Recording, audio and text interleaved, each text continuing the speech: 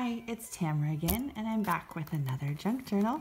This time it's a kind of a Minnie Mouse themed junk journal with all the polka dots, um, the red and white on the top. made me think, what's better than adding a little bit more polka dots? So I found this cute little polka dot belt to wrap around there as the enclosure. So that was just the perfect thing to end that, or to put the topping for this Minnie themed junk journal.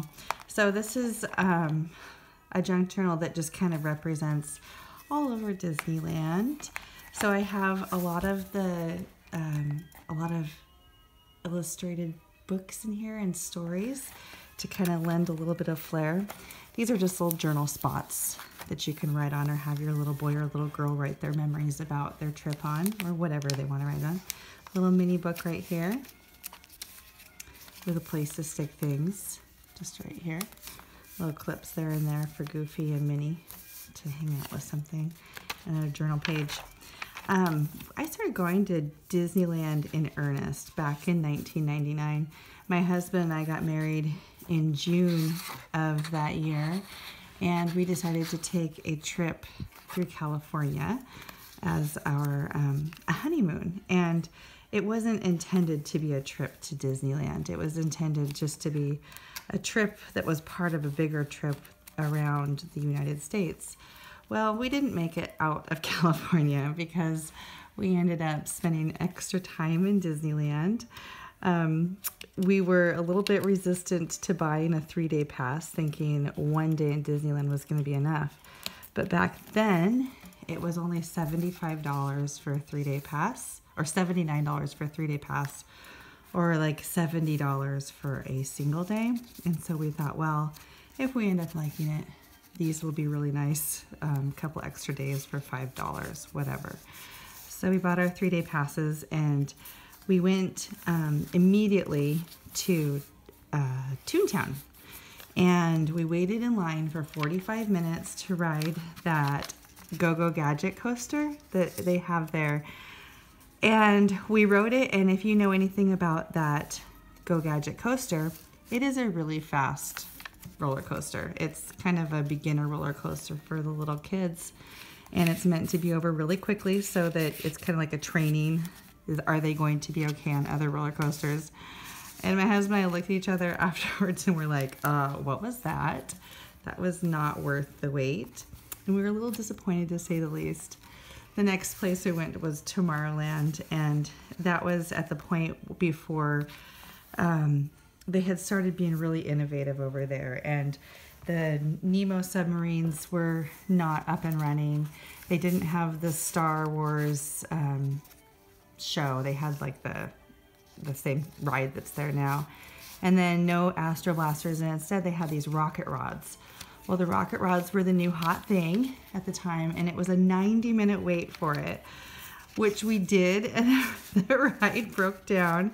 And so there I am looking at my new husband, newly betrothed, you know, like this is one of our first big decisions together, and neither of us were impressed, but this was definitely more on my plate than his as I had suggested to go. Finally, we made it over to our favorite Frontierland, Critter Country, and they still had the Country Bear Jamboree back then.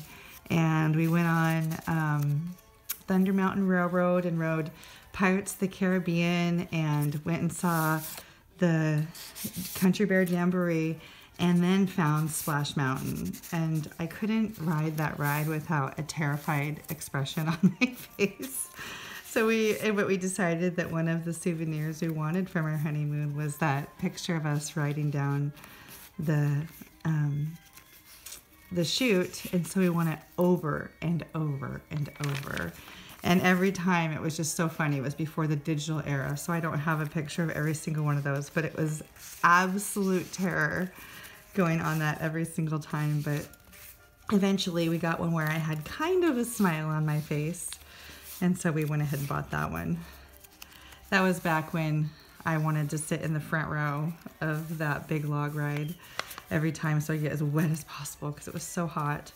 It was also back when we would actually wait in line for 90 minutes for Splash Mountain rather than using the fast passes There's a little clip there for you to clip things on.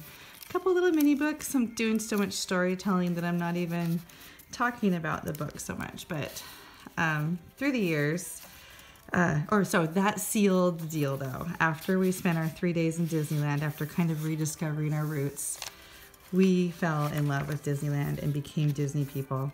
I remember we went down to San Diego after that and went to San, or sorry, went into Tijuana.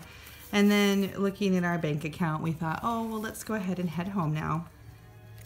And on our way back, we saw Disneyland from the freeway. And we just had to get off the freeway and drive through. And my husband said, Do you want to go back to Disneyland for a few days? And I was like, No, let's be responsible and let's go see other things besides just Disneyland. And I didn't really think he was serious, but all these years later, I found out that he was absolutely serious. Would have loved to take his new bride back to Disneyland for another three days. So anyway, that's how my Disney love started. And after that, it just seemed like the place where, where, why would you go anywhere else? Everything is all there for you. Get your hotel room, and then you just have to go to the park, and all the fun is right there. So I just, our family is that family. You know, some people go to Hawaii all the time. Some people go to Europe or New York or somewhere new every time we go to Disneyland with those people. And uh, I'm kind of proud of it at this point. We really love it. It's been a great part of our family life. So this is going to be available on Etsy until it sells. And hopefully this flip through was at least a little interesting to see the book and maybe hear a funny story. I don't know. So anyway, thank you for watching and I hope you have a great day full of magic.